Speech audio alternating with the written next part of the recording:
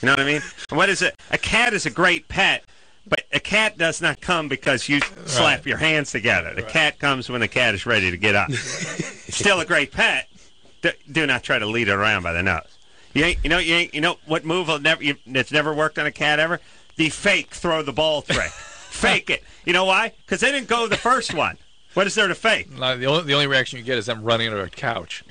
Yeah, yeah. You know, like the fake, the fake throw the ball thing works uh, on that. Like it's like if Christopher Reeve did a fake punch at your gut. It's like, huh? Jeez. What you, I'm not moving. Oh my! No, I just mean you want me to. You want me to.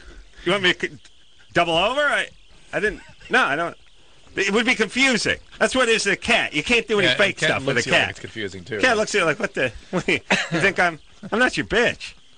I'm not a bitch. That's female. Yeah. You're right, but then they'll take the little toy and they'll bat it around for hours. days Yeah. and days. Cat would rather, So long as it's on their own. swat its stuff to itself Yeah. than give you the satisfaction of uh, rolling the ping pong ball. I'll, I'll smack it myself, wise ass. I don't need you. It's a constant. All cats do is we don't need you. We don't need you. I got my own stuff. I sleep over here. I chase my own ping pong ball around. We will I got pee my over stuff. here if you're Yeah. ever invited. Sharing is good, but not when it's with needles, because then the only thing positive is your HIV test. Does, does he perform for you guys? He- Does the, the what do they call the bitches from the Stone Age or something? The uh, bitches of the century. The century. Yeah, no, no, Man, there's, there's none of that. Probably a good thing. Yeah, I know. Probably good. Tasha, Yeah. you're 16. Yep. What's up? Okay. Um, my mom, she has this boyfriend, right? And Mm-hmm. he's only 29, and she's 42, and he's like a really big loser.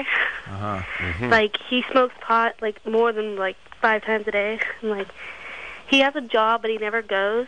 And that's interesting. yeah, and like he. Well, isn't a job you never go to just one you got fired from three years ago? I don't know. Like, he, Or, or that, or dad owns the business. hey, how does he keep a job he never goes to? I have no idea.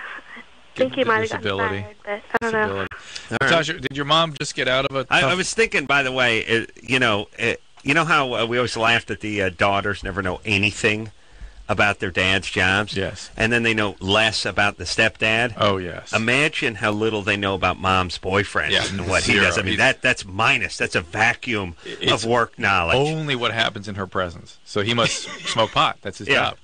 Because we love we love And if he- talking to chicks like, "What's your dad do?" I know he was in the shuttle program. Something like That's that. all I know. I think he flew Apollo, something. If He his job orbited. is smoking pot and he's smoking pot five times a day, Doing a good job. yeah, Yeah. that's that's And well done. it's he's going to be giving himself at. a raise soon. Maybe buying a new bong, company Tasha, bong, the most Yeah. common reason, listen, Tasha, that a, a four, parking space for a squareback. a 42-year-old woman would uh, sort of go for somebody like this, if this hadn't been her pattern in the past, Oh yeah, it is. it has been okay. Yeah. Because if, if it hadn't been, it's women, someone who's just been brutalized in a relationship. They'll sort of find some guy to hang out with for a little while. Yeah, like if younger. your dad, if your your biological dad was aggressive and Or maybe cheated. physical or something like that, sometimes women just get a younger guy they don't have to That's think about. not the reason, Doctor Drew. It, it's a reason, but no, it, well, I don't want to say the real reason for Natasha. That's all. well, the, the if it's her pattern, then doesn't your mom do drugs too? Then no, not at all. what's that? She doesn't do drugs at all. All right, As far as Tasha knows. all right. So And what does she do for a living? Um, she like sells repossessed cars. I know this. Ah, sure. She you- sells repossessed. Cars. You oh. know nothing Yeah. about. Oh my God, this is. Hold on.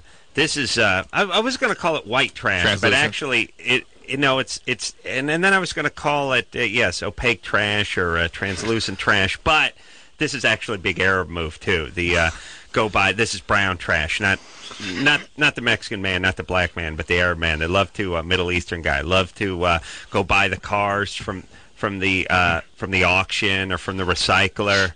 They get the recycler. Somehow they get the paper a day early. I don't know how. Because when I used to try to sell my trucks, I get this call. The paper comes out Thursday morning. I get the Wednesday night call. Hello, who is this? Yes, you'll have car. Yes, uh, yeah. This is an '89 Nissan truck. Yes, uh, yes. That, five dollars. Uh, I I'm, asking twenty three hundred. Uh, Six dollars. Uh, well, you haven't even seen whoever worked on it should have their hands cut off.